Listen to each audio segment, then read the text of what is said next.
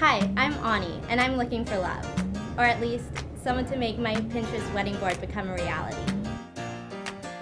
Think that's too much pressure? Well, don't worry, I only really need you for the pictures.